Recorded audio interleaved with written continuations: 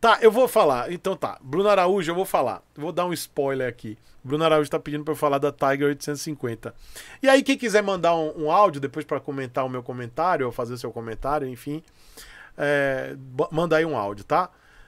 É, deixa eu, antes, meu amigo Fábio Leal tá dizendo, tá dizendo aqui, Chico, seria legal um vídeo apontando diferenças na prática entre a F750GS e a F850GS, já que as faixas de preço das versões são próximas e a motorização também. Aí eu vou fazer o gancho. O gancho do meu amigo Fábio Leal. Vou aproveitar o gancho.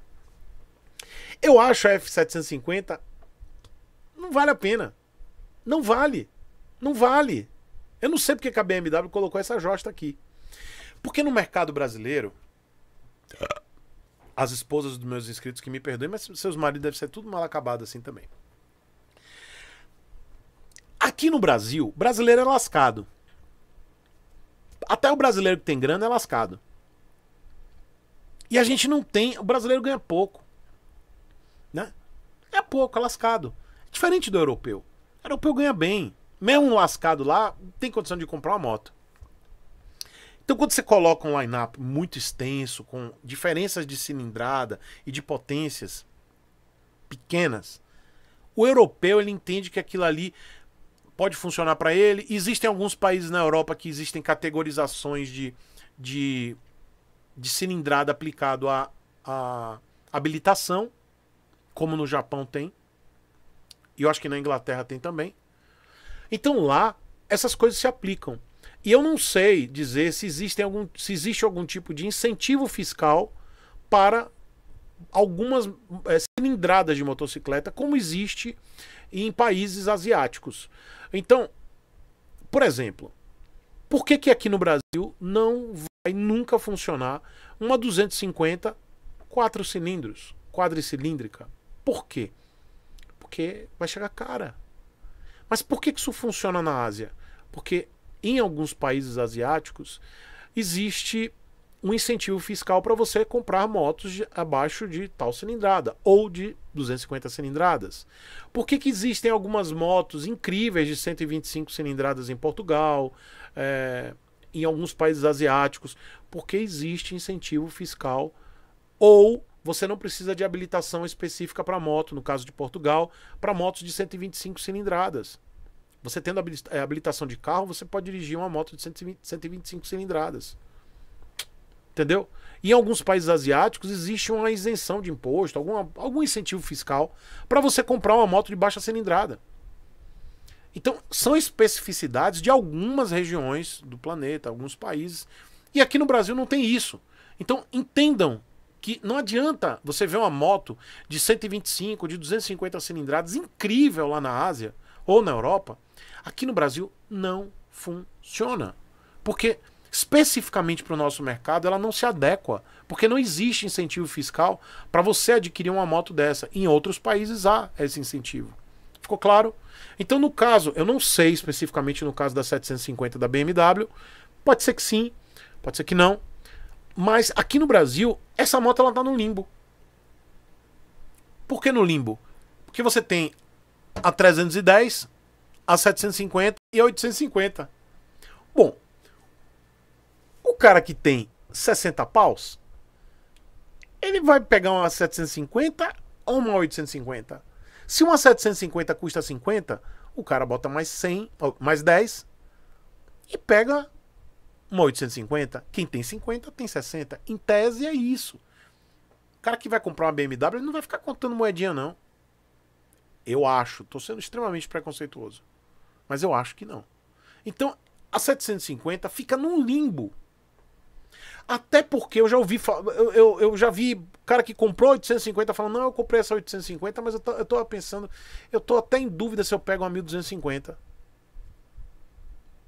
Você entende? Então, você acha que o cara vai comprar uma 750? Não vai. E aí vamos ao ponto da Triumph Tiger. Essa moto, a 850 recém-lançada lá na, na Europa, ela pode funcionar lá na Europa. Porque lá na Europa pode ter algum incentivo fiscal para essa moto, pode ter algum tipo de categoria para essa moto. Não sei. Na Europa, o cara, o, o europeu, ele ganha bem. Certo? essa é a diferença do europeu pro brasileiro. Ele ganha bem. E aí, essa moto funciona lá. O cara pode chegar e dizer: Não, pô, pega um 850, por que eu vou pegar uma 900?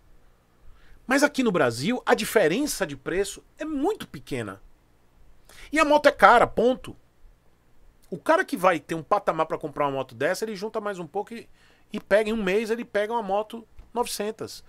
E aí, qual é o problema? Qual é o ponto dessa Tiger 850? É que quando ela chegar ao Brasil, é uma péssima ideia. Esqueçam a ideia dessa moto vir para o Brasil ser boa ideia. É uma péssima ideia. Porque ela vai fazer com que o preço da 900 suba. Eu bato uma aposta com vocês. Eu aposto uma caixa de sorvete. Essa moto ela vai chegar aqui, ela não vai ser bem posicionada, porque ela não vai ser posicionada a 50 mil. Ela não será posicionada a 50 mil. Porque se a gente olhar, tem 650 da Suzuki vendida a 50 mil. Então essa moto, a 850, ela muito provavelmente ela, ela será posicionada entre 55 e 60. E a Tiger 900, que hoje está nessa faixa, ela será posicionada para 60, 65 ou mais, ou 60, 70 mil.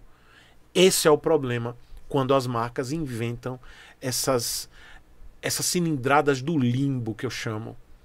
750. Se a 750 não, existe, não existisse aqui no Brasil, eu tenho certeza que a 850 seria mais barata. Esse é o problema. É uma moto que ela, ela tá no limbo, ela não tem função nenhuma aqui no Brasil. Ela não tem propósito. A 750 da BMW, eu digo isso como patrocinado, sem medo nenhum, tá? Não tenho medo nenhum de falar isso. E é o que eu diria pro meu patrocinador. Mas é uma decisão da BMW Brasil, eu não tenho nada a ver com isso. Mas a, o meu posicionamento como crítico de moto é que para que, que você vai comprar uma 750 se você junta mais um pouco e pega uma 800? O meu pensamento também, bom, se você vai comprar uma 850 Premium, pô, junta mais um pouco, mais um mês, dois, se encalacra mais um pouquinho aí esperando, pega um Adventure por 9, 10 mil a mais. Quem tem grana, eu tô falando de quem tem grana.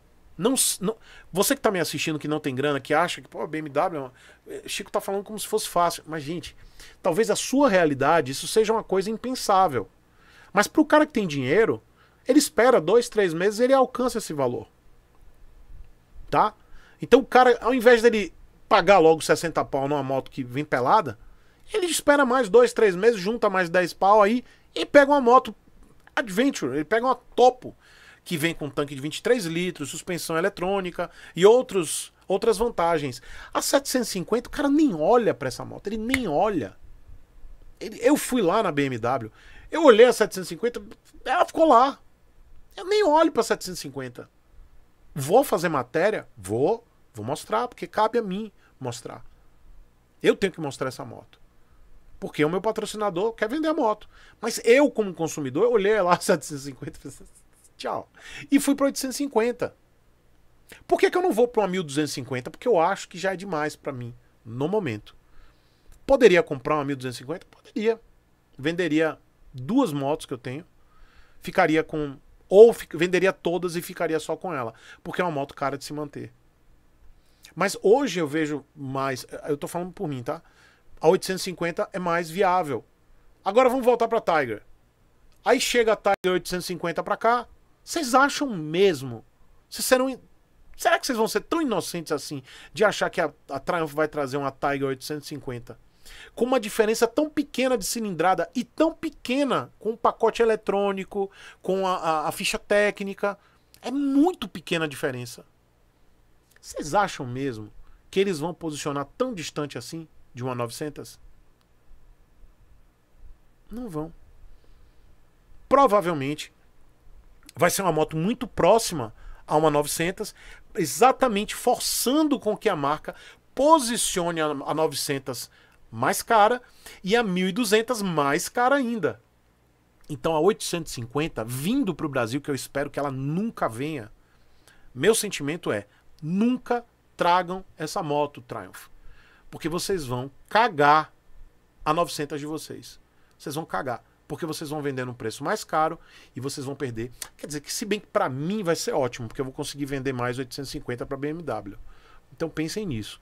Não tragam a 850 para cá para o Brasil, porque vocês vão perder venda das 900, a não ser que brasileiro seja trouxa e aceite. Não é não? Nel Conquer mandou um superchat aqui para mim. Pergunta, tio. Chegou a ler o press release da Tiger 850? É o mesmo motor da 900, de 888 centímetros cúbicos, com peças mais simples, por isso tem 10 cavalos a menos. Vai chegar no mesmo preço da 900. Aí eles vão posicionar a 900 lá em cima. Vai ficar mais cara, galera. Eu aposto a caixa de sorvete. Tá aí. Esperem. Se essa moto chegar aqui, vai ser muito ruim. Para a Europa, pode funcionar, mas para o Brasil, não funciona. Tá bom? Eu tô até pensando em não gravar nenhum vídeo. Acho que eu vou usar isso aqui como corte do Sepúlveda. Bora ver.